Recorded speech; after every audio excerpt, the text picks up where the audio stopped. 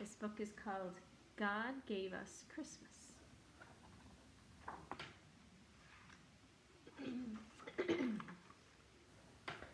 Mama, little cub asked one night, who invented Christmas?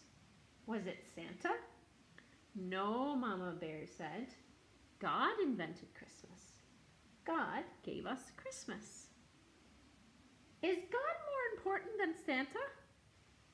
Oh, yes, much more important, Mama said with a smile.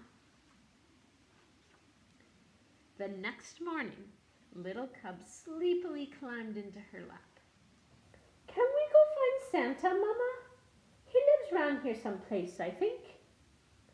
Hmm, Santa is hard to find, said Mama. But we can go find God.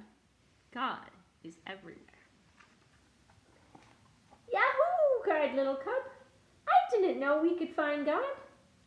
Oh, yes, Mama said. We can always find God. Little Cub looked over her shoulder and whispered, Can we leave them at home? Yes, Papa will watch the little ones. You and I can go alone. We will go to find God?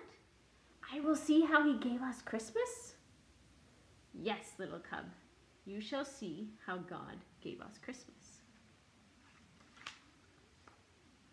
The next morning, little cub and mama filled their packs, kissed their family goodbye, and set off to find God and see how he gave them Christmas. They walked to the top of one mountain and down the next, and up another mountain where they set up camp. Little Cub was so, so tired that she went right to sleep. But Mama nudged her while it was still dark. Mama, why are you waking me up? Because it's God, little cub. Come see. What is that? Little cub asked in wonder as she watched the dancing lights in the sky. That is God at work, little cub. He sent his only son as a baby so that we would know light from dark. Jesus is the light of the world. Jesus is how God gave us Christmas. The next day, they arrived at a huge lake. All at once, with a mighty roar, a chunk of ice cut away from the cliff and fell into the sea. What is that? Little Cub asked, covering her ears and leaning into Mama. That is God, Little Cub. He's so powerful, he can command the water to freeze and the glacier to melt. He is mightier than any king on earth. And because he is all powerful, he made Jesus king of all kings. Jesus was just a baby. How could he be a king? All kings begin as babies. God knew we would need someone we could touch and see and smell. Mama paused to sniff little Cub's neck, making her giggle, to understand just how much he loved each one of us.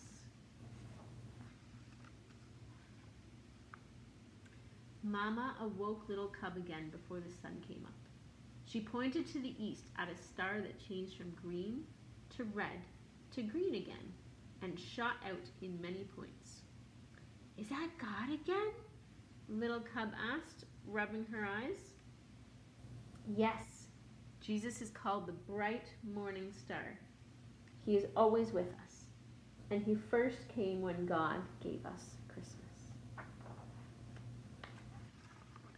But what about Santa? Little Cub asked. Did God give us Santa? Santa Claus reminds us about many good things like generosity and care. But it is God and Jesus that we celebrate most come Christmas. We always want to thank God for giving us Christmas. On the way home, Mama Bear stopped by a tiny flower peeking from the hard frozen ground. Oh, you are too early, little flower, she said. Little cub, Jesus is like this flower, God in our world, living where you wouldn't expect him, surprising us. Christmas is a lot about surprises. Mm-hmm. Like presents. Yes, Jesus is the best present of all. And God would have given us that present even if it was only for you. Only for me? Only for you, little cub. God gave you Christmas. Mama and little cub came upon a church, glowing with warm light.